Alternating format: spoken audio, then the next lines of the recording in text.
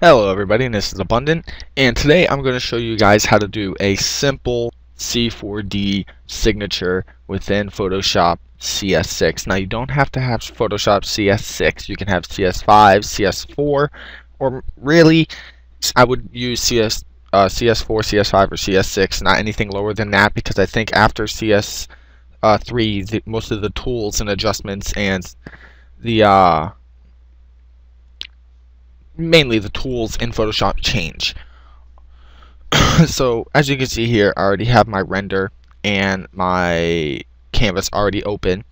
Um, I have a 500 by 300 and it's a yeah 500 by 300 pixel. Uh, I did a transparent background and then added a black background behind my render so I could see if there was any white lines on it some or you know I, I want it to be high definition don't want that white line on the outside of the render. So once you have all that open, oh, and the resolution 72 and an 8-bit color mode. Hey, look at that, my color scheme. Errors. Um, sorry about that. So once you have your render and everything done, and you got it into your canvas, as you can see, these are the three primary uh, um, C4Ds and uh, Metaballs, I think, that I'll be using. If I'm wrong, correct me. So what I'm going to do here, guys, is I'm going to pause the video. I'm going to place all my C4Ds into my render, and then I'm going to resume the video for you guys. That way we can speed this up, have it in one part. You guys don't have to click 50,000 times on different parts of the video. Uh, so what I'm going to do is once that's done, once I'm done, and I resume the video, we're going to step on to the next step in this tutorial. Okay guys, so as you can see I'm done putting all my C4Ds into my signature. Now, um, there are a few areas that I left, uh, you know, uncovered. I'm going to fix right now. I just noticed it. Uh, as you can see around the hand right here, I want to fix that. I want to make it look like he is coming somewhat out of the uh, out of the um, uh, C4D that's in the background. So I'm going to take this and I'm going to put it probably, if I can get this to place right, hopefully an error don't come up on my computer again, which it probably will, because that's what my computer is known for. Um, I just had it right. Um, geez, I say I say um a lot. Uh, Oh, there we go again. Oh, God. You know what? I'm just going to put it right there. Looks like crap, but oh well. Um, so once you have that done, uh, I do not recommend you apply your image because once you apply your image, then if you go 15 steps ahead, you won't be able to, uh, you know, redo anything. You'd have to delete all the applied images, and it, it would just be such a hassle. So uh, I really don't apply any of my images at all. I don't. And if I do, what I do is I make sure that my render is the only thing that is there. But I'm going to try not to apply any images to the final steps in this video. So once you have all your C4Ds in, you're going to want to add a little bit more effect. So we're going to have, uh, I'm going to add some uh, bubbles. If you don't have bubbles, I will post a couple links, not even post, I will put a couple links in my description for you guys that I think would be really good bubble uh, C4D packs. If you disagree and you want to use your own, then go right ahead. Uh, we're going to hit Control O or go to File, Open to open up our folder. Um, I don't have a lot of bubbles because I really don't use a lot of bubbles in most of my signatures, um, as you can see. So we're looking for something that has multicolors, something that goes with the background, something like like these right here, like this one and this one, there's multicolors. Or you can even use single color ones like these and then, you know, combine them, make them look cool. But I'm going to use this because I'm going for a multicolor type signature here. It's a new style I've been trying to work with. Um, everyone's, most people I've seen do tutorials, they they take their bubble C4D and they scroll it all the way down so it's like this small you can barely see any of the it's like that not even like that it's like like that how are you supposed to get any effect from something like that You're not supposed to do it that small. You're supposed to do it small, but not small enough to where the user has to fucking squint his eyes, excuse me for my language, to just see it. Like that. That that's nice. And then you just you know, you remove the bubbles that look like they're cut off and you got a perfect placement. Not even a per that's not even a perfect placement. I'm just, you know, what you know what I'm saying. Y'all get me. Hopefully. Uh, then we're going to duplicate that and we're going to want to move it somewhere else. I don't want to it looks like as you can see, you can see where the bubbles are being cut off. I'm going to just rotate it so it's not that badly cut off. There we go. And if you don't like the colors, you can switch them, but I really don't use any adjustment color switches until close to the end, or I just press Control U on one layer and do the hue and saturation by itself. But we're going to go for kind of a multicolor here. So once you have that done, you want to create a new layer, grab your brush tool, and maybe bring it up to about a uh, a one a 119 that'll be good. Then you want to see if if you look in your signature you have all these bright colors like these bright cyans the bright blues the bright pinks the bright purples. And uh, this is a, a thing I do in all my signatures. I'll grab a color maybe between green and blue to get that and then I'll go down to like a dim color somewhat on the bright side. Set my layer to color dodge and then what I'll do is I'll it, it, you can already see what it's doing. It's brightening up those areas that I think are nice. Like that. Like that. And brush uh, right there on the neck. Right on the head. Turn that a little green on the face. If you get to an area where it doesn't look right, you can just, you know, erase it or back it up. But I'm doing this because I think it looks nice already. Now once you have that, you're going to want to add a little bit more. So we're going to go back over here.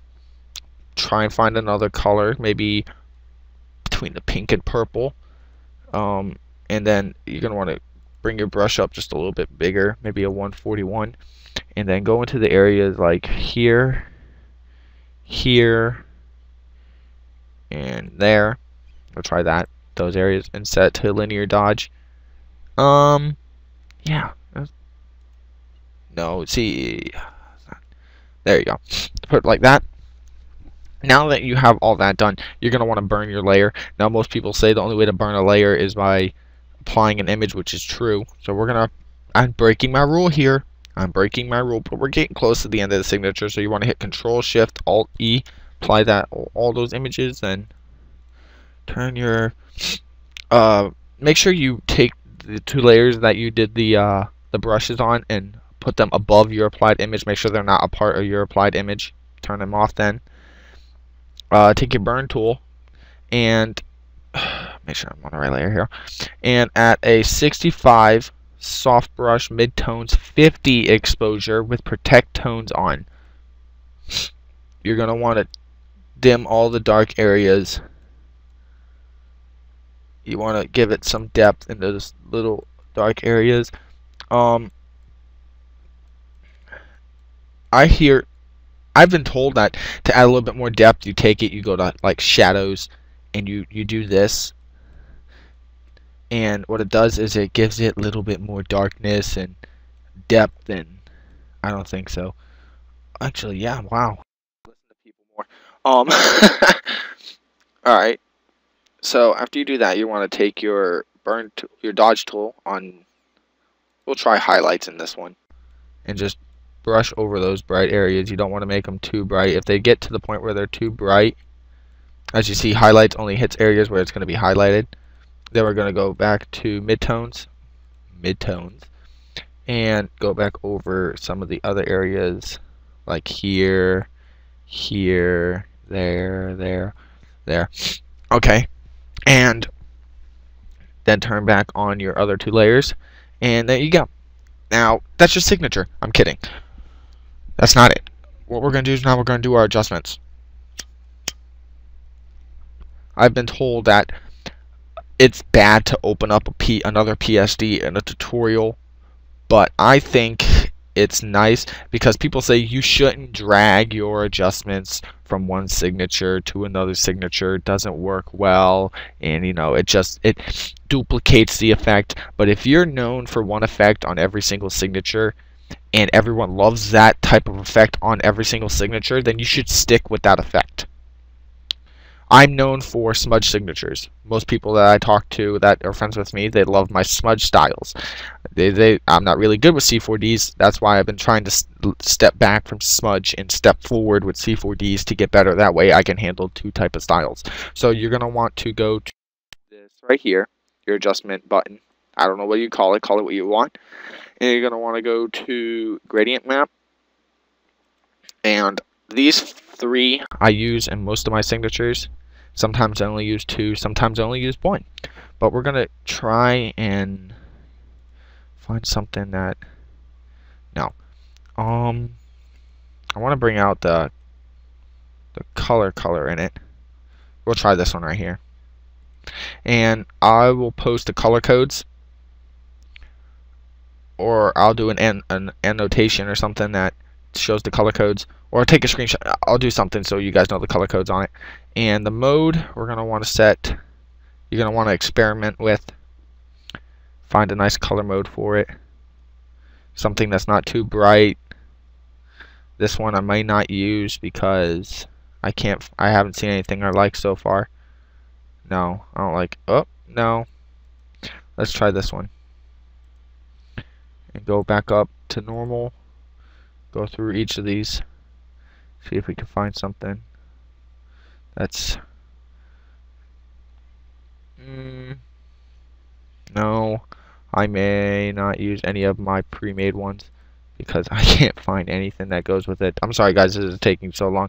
I'm going to pause the video here, do my effects, and then I'll review over the effects that I did on my uh, signature. So, um, I'm going to play some music for you guys while this is paused, and I will be back.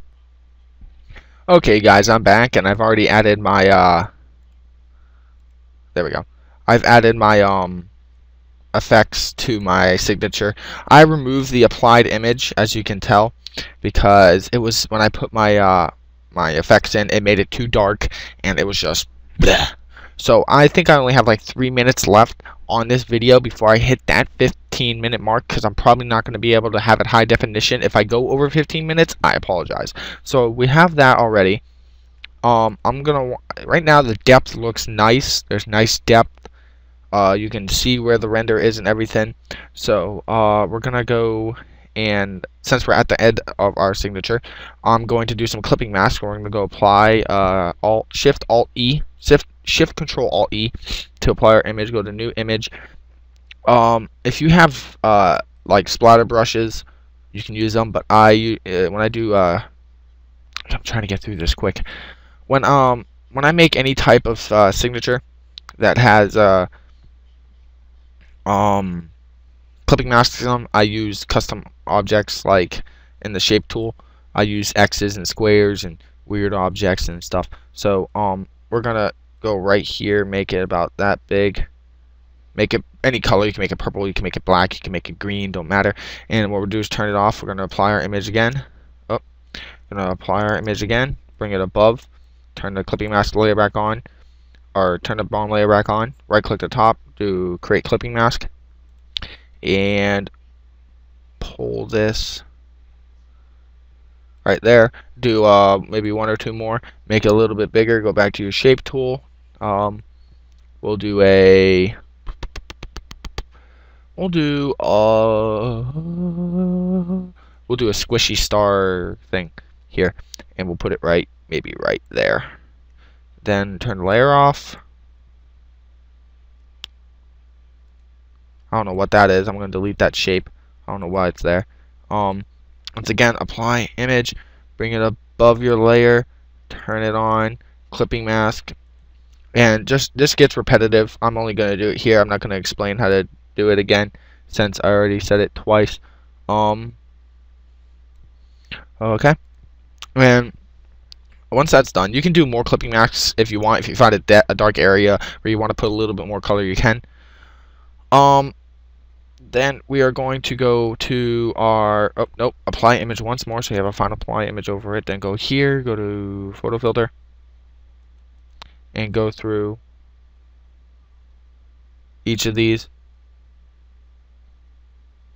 Um, we'll do that one, bring out the purples a little bit. Uh, do another photo filter.